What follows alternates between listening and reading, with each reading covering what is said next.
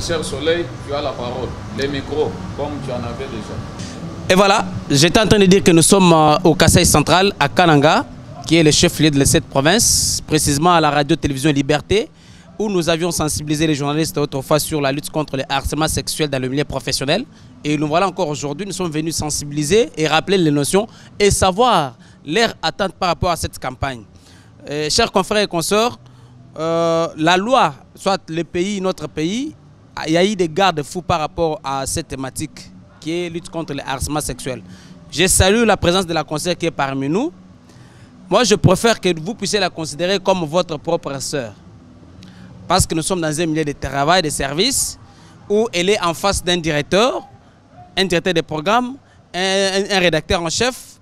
Elle doit jouir les mêmes droits comme nous tous. Voilà le pourquoi de notre arrivée, de cette campagne, les bien fondés de cette campagne. Considérez cette consoeur comme notre propre sœur et doit avoir les mêmes avantages que nous tous. Ce n'est pas dire que parce que vous êtes directeur de, de programme, directeur, rédacteur en chef, directeur des stations, et que vous pouvez abuser d'elle. Dire, ah, comme toi tu es jolie, et pour que je t'envoie sur le terrain, il faudrait que tu passes par le sexe, que tu me donnes le sexe. N'y pas ça. Donc, harceler aussi, ça veut dire, elle peut être en train d'écrire son reportage, soit en train de faire son travail, toi, tu es là en train de les toucher dans des endroits intimes, dans des, dans, des parties là qu'il ne faut même pas toucher. Ça s'appelle harcèlement sexuel. Tu l'exiges, toi, parce que tu es chef, tu abuses de ton pouvoir, parce que tu es chef, tu veux accélérer, tu veux la toucher partout et tu veux sortir avec elle. C'est ce qui veut dire harcèlement sexuel. Nous sommes venus voir comment vous avez intériorisé cette matière. Est-ce que cette matière, vous avez plu autrefois lorsque nous étions venus ici pour vous sensibiliser? Là, je, me rappelle, il y avait le directeur de, de programme, c'est ça, oui, le directeur de programme. Il était là, le confrère était là, le directeur en question même, sauf les, nouveaux ici qui n'étaient pas là. vous également, tu étais là. Alors, nous, on passe par des petites questions. Nous, on vous pose des questions. Ce n'est pas nous qui allons encore parler. Par contre, nous, allons vous faire parler, vous. On commence par les directeurs. Et on parle par le directeur de programme. Et on parle, il est rédacteur. Euh, secrétaire de rédaction, comment, comment est-ce que vous trouvez cette campagne que Justice Télévision a lancée? Est-ce que c'est une bonne matière? Est-ce que vous l'avez vous intériorisé C'est quoi votre souhait par rapport à cette campagne? Voilà pourquoi je voudrais d'abord passer la parole au directeur, M. Zachary Kankou, que je reçois ici pour nous expliquer Qu'est-ce qu'il entend de harcèlement sexuel ici au sein de sa rédaction? Qu'est-ce qu'il en a fait? Et comment est-ce qu'il est parvenu à s'en sortir? Et c'est quoi l'état des lieux de cette, de cette thématique au sein de sa radio? Monsieur Zachary Kankou, bonjour. Bonjour, monsieur le journaliste Soleil. Voilà, dites-nous, vous êtes directeur de la radio de Liberté, vous avez euh, été sensibilisé par rapport à cette thématique. Comment est-ce que vous, avez, vous, êtes en, en sorti? Bon, jusque-là, ça va.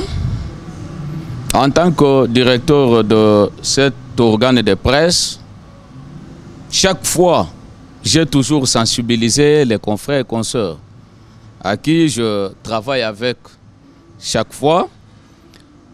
Vous avez vu, présentement, nous avons une fille ou une consoeur sur quatre, dont on avait eu cinq. Malheureusement, l'autre est déjà à Kishasa. Quatre euh, qui sont restés, trois euh, sont vraiment en session euh, comme elles présentent euh, leurs examens de la deuxième session et l'autre est avec nous présente. Chaque fois, comme dans chaque conférence de rédaction, moi je les ai toujours sensibilisés. Nous ne pouvons pas poser des actes qui ne euh, donnent pas la valeur ou qui ne donnent pas le poids de ce que nous faisons ou de ce que de notre unité de production, de notre entreprise. C'est-à-dire, nous devons nous respecter. Nous respecter. On est ici juste pour le travail. Si quelqu'un a les arrière-pensées ou quelqu'un veut tomber amoureux ou amoureuse, ça ne peut pas se faire ici. Et là où nous travaillons. Ça peut se solliciter ailleurs. Et ici, nous avons juste besoin du travail. Et j'ai toujours sensibilisé les filles que nous avons. Et que s'il y a un confrère qui vient à mon insu, il vient te demander peut-être la main, il a posé un acte euh, qui ne t'a pas euh, à chanter, ou qui ne fait pas euh, la beauté, qui ne euh, reflète pas l'image de notre radio, ça directement, il faut me le dire. Et je vais m'en charger. Il faut dénoncer. Donc, jusque-là, comme la question que tu m'as posée, de, donner l'état des lieux de notre radio par rapport à la thématique ou sensibilisation de la fois passée sur l'harcèlement sexuel. J'ai dit et j'affirme que jusqu'à là, ça va. Alors, dites-nous, euh, qu'est-ce que vous demandez à Justice Télévision? D'abord, j'allais commencer par là. Il fallait dire merci, euh, féliciter Justicia TV, puisque la fois passée, on était un peu là distrait. Ce genre de sensibilisation euh, ne s'est jamais fait. Donc depuis que moi j'ai commencé ma carrière euh, professionnelle en tant que journaliste, je n'ai jamais été sensibilisé sur l'harcèlement sexuel. Mais avec Justicia TV, la première fois, j'ai trouvé que c'était important. Même les confrères et consoeurs qui étaient là sur place, ils avaient trouvé que c'était vraiment important et il fallait que ça puisse continuer comme cela. Et aujourd'hui, je me retrouve encore avec euh, mes collaborateurs et Justicia TV. C'est un jeu à encourager et nous espérons que si ça continue comme ça, d'ailleurs, je m'en vais pour dire que la fois passée, Justicia TV avait promis la séance de formation. Donc, euh, jusqu'ici, on sait pourquoi, mais sinon, je euh, les encourage de continuer comme cela et ça va aussi nous donner euh, le courage et beaucoup plus ça va donner aux jeunes filles ou aux filles, aux consorts que nous avons à surtout chaque fois. Ce sont elles qui sont beaucoup plus victimes. C'est difficile de trouver un garçon tel qu'ils sont là, dénoncer un cas de, euh, d'harcèlement euh, sexuel non seulement, non seulement harcèlement sexuel, mais d'abord harcèlement. Le vocable harcèlement. Puisque harceler ne veut pas dire seulement que c'est toucher le parti intime, mais aussi même par les gestes. La façon de, de, de, regarder, et ces regards-là peut directement transmettre le message que j'avais, l'intention que j'avais. Mais beaucoup plus, ce sont les filles qui peuvent à chaque fois dénoncer lorsqu'il y a ce genre d'actes. Donc, quand Justicia TV passe à temps en temps, moi je souhaiterais, je demanderais, d'ailleurs c'est un plaidoyer, il, il faut que Justicia TV ne nous abandonne pas. Puisque plus, si Justicia nous abandonne, et beaucoup plus les filles, ce sont les le, le filles majeures. Les concerts sont majeurs. Et peut-être, dur que Quand la consort se retrouve, devant son chef, par exemple moi, je suis le directeur des stations, ou soit le chef des programmes, encore moins le rédacteur en chef et consort, et on s'est déjà habitué. Peut-être c'est moi le directeur qui l'avait amené à la radio. Ou peut-être c'est le chef des programmes, ainsi de suite. Mais une fois que je tombe sur elle, même par les gestes, même par la parole, c'est facile qu'elle tombe avec moi. Mais plus ces séances de sensibilisation, avec Justice TV, il y a moyen que la fille prenne ses responsabilités, qu'elle se découvre, qu'elle découvre l'importance ou l'impact de ce qu'elle fait et ce qu'elle ne peut pas faire. Donc moi, je demanderai à Justice TV de continuer à sensibiliser. Jusque-là, c'est bon. Et c'est on avait fait la fois passée, nous sommes restés, on ne fait qu'une large diffusion, et jusqu'à là ça va, et que Justicia ne nous abandonne pas.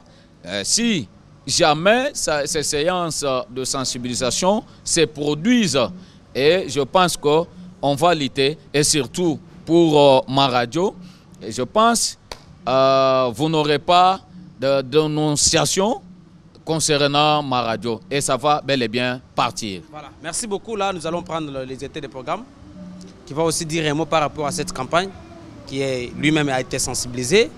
Euh, vous, allez, vous allez nous dire comment vous, est-ce que vous avez aussi trouvé cette campagne au sein de votre radio? Personnellement, c'est ma toute première fois de, de voir. Je ne sais pas si c'est une structure ou c'est une chaîne de télévision, je ne sais pas. Je vois ici à Kananga. Personnellement, j'ai dit grandement merci à, cette chaîne de télévision. Je pense que le travail abattu a porté des fruits. A porté des fruits parce que la fois dernière que vous, étiez ici, euh, la fois dernière que vous étiez ici, je pense que vous aviez bien sensibilisé. Euh, je pense que ça va. Personnellement, je n'ai pas de commentaires à faire, mais j'avais une petite question à poser. Euh, je voulais juste savoir, ici au Kassai central, vous parlez de, jeunes filles, mais une fois, si nos, consoeurs trouvent des cas, comment elles peuvent atte- atteindre justice à TV Justice et télévision est là pour vous accompagner. Chaque fois qu'il y a des cas, il faut toujours dénoncer parce que dans nos deux pliants, nous toujours, euh, il y a toujours des numéros, des contacts de cette rédaction. Donc, il faut qu'il faut vous appeler ce numéro-là et vous allez directement tomber sur Justice et Télévision. Et Justice et Télévision va vous accompagner. Parce que y a, la loi est là. Et Justice et Télévision n'a que ça comme instrument juridique pour accompagner la victime. Et ça, ça, ça- ça sera encore une bonne chose pour vous lorsque vous allez dénoncer. Notre lutte est d'avoir des cas où les gens dénoncent. On sensibilise, mais lorsqu'il y a des cas, on doit dénoncer pour accompagner psychologiquement, physiquement et juridiquement la victime pour qu'elle se retrouve dans ses droits. C'est ça au moins la réponse à votre question. Alors là, je vais prendre alors euh, un, autre euh, monsieur. Là, peut-être on pourra, avant de, de clôturer avec vous, on va prendre la consoeur. Si peut-être la consoeur a aussi un mot par rapport à cette thématique. Confrère, vous encore, on vous appelle comment? Merci beaucoup. C'est Franck euh, Kamwanga, secrétaire de rédaction à la radio Liberté FM 104.5 MHz, émettant depuis la ville de Kananga. Voilà, dites-nous comment est-ce que vous avez trouvé la campagne de lutte contre le harcèlement sexuel que nous avions faite ici chez vous. Premièrement, je commence par vous remercier, vous, le, le collectif des Justiciers TV. Depuis la première rencontre jusqu'à aujourd'hui, moi personnellement, je ne savais pas les notions sur euh, le harcèlement et aussi le harcèlement sexuel. Euh, la première rencontre m'a beaucoup enseigné beaucoup de choses pour protéger premièrement nos consoeurs qui nous, euh, travaillons avec elles ensemble et aussi dans le milieu de profession. Et je commence par vous remercier parce que euh, ces séances de formation, ces séances d'atelier euh, vont euh, nous donner un peu du poids, vont nous donner un peu une fortification pour aider d'autres personnes qui aiment nous suivre ou bien qui aiment aussi cette profession du média. Moi, je demanderais, c'est une suggestion, je demanderais que ça ne soit pas la première et la dernière fois de sensibiliser les chaînes euh, de la ville de Kananga parce que nous, fais- nous faisons partie de ces quatre chaînes-là euh, qui sont sélectionnées pour cette formation.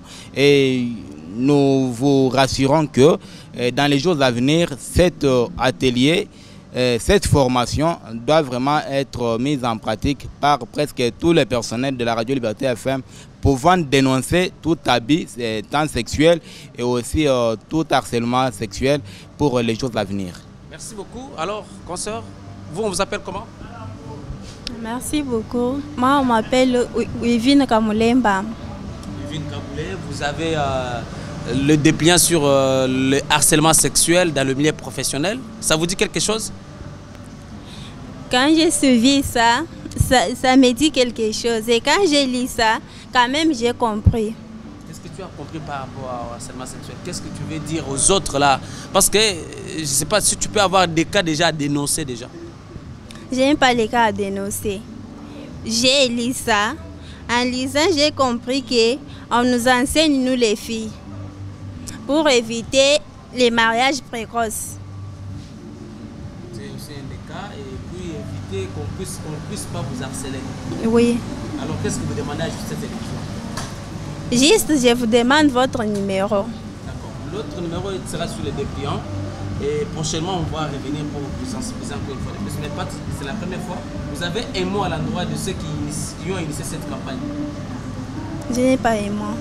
D'accord. C'était la consoeur euh, avec qui euh, on venait juste de, de- de parler. On est très heureux d'être aussi à Liberté FM, comme la liberté d'expression l'exige. Et c'est une chaîne qui fait aussi parler aussi des gens et qui veut respecter aussi la liberté d'expression des autres. Nous allons nous retrouver prochainement pour d'autres aventures. Quant aujourd'hui, on ne peut que vous dire merci parce que nos confrères et nos consoeurs ont bien compris que harceler n'est pas bon. Il faut lutter contre le harcèlement sexuel dans le milieu professionnel.